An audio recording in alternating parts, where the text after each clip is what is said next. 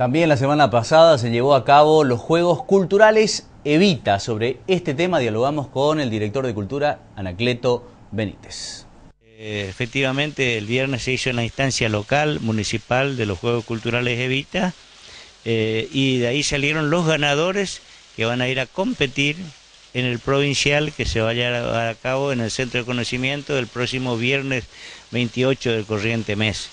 Eh, tenemos los ganadores de la disciplina pintura, sub 14, sub 18, eh, danza, sub 14, sub 18, canto solista, sub 14, sub 18, danza, eh, sub 14 y sub 18, y conjunto musical también en las dos categorías.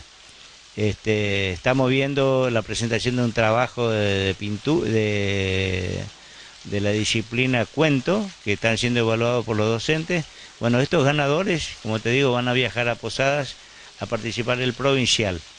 Y si ahí resultan los ganadores del provincial, van a ir a, como premio a Mar del Plata del 5 al 10 de octubre, eh, también en el marco de los Juegos Deportivos Evita eh, Nacionales.